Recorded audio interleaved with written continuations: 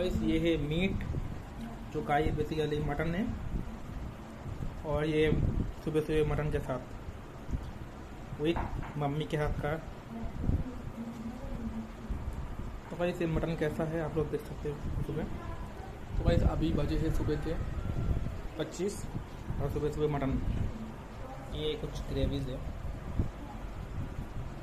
तो वैसे आपको मम्मी के हाथ का मटन कैसा लगता है कौन सा